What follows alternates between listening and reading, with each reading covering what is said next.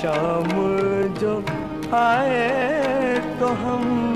दोस्तों, आज मैं आप लोगों के लिए हमारे हर दिल अज़ीज़ मोहम्मद अज़ीज़ साहब का एक बहुत ही रेयर एल्बम लेकर आया हूँ। जिस एल्बम में मोहम्मद अज़ीज़ साहब ने दो गीत गाए और वो एल्बम जो है वो 1977 में रिलीज़ हुई।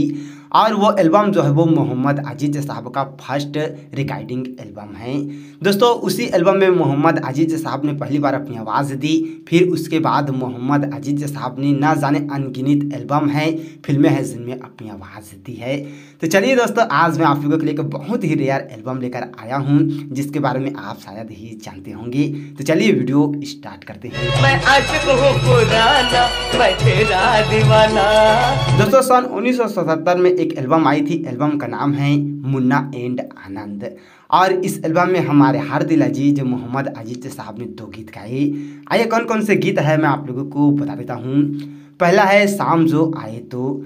और इस गीत को बहुत अपनी दर्द भरी आवाज़ में मोहम्मद अज़ीज़ साहब ने कनाक दास गुप्ता जी के संगीत में अपनी आवाज़ दी और लिरिक्स आनंद जी ने दिया। जो आए तो हम आँसू और इस एल्बम का दूसरा गीत है, ओ जाने जाना। और इस गीत को भी मोहम्मद अज़ीज़ साहब ने बहुत अपनी खूबसूरत आवाज़ में अपनी आवाज़ दी और बहुत ही बढ़िया संगीत कनक दास गुप्ता जी ने दिया और लिरिक्स आनंद जी ने दिया। जी हाँ दोस्तों, और इस एल्बम में मोहम्मद अज़ीज़ साहब ने दो गीत गाए और दो गीत आनंद जी ने गाए। जाने जाना हो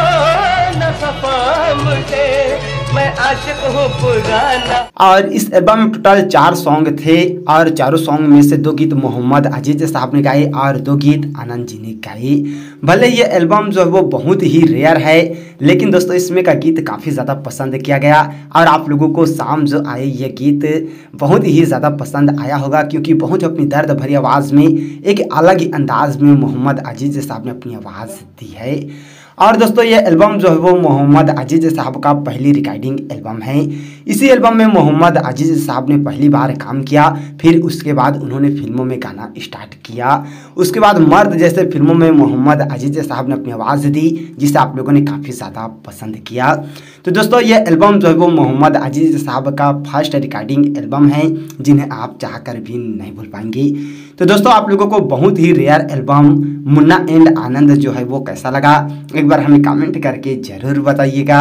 और ऐसे ही जानकारी के लिए अगर अभी तक आप लोगों ने हमारे चैनल को सब्सक्राइब नहीं किया है तो प्लीज़ दोस्तों हमारा चैनल ज़रूर सब्सक्राइब कीजिएगा और वीडियो को अभी तक लाइक नहीं किया है तो लाइक कीजिएगा, शेयर कीजिएगा। थैंक यू दोस्तों हमारे वीडियो वॉचिंग करने के लिए।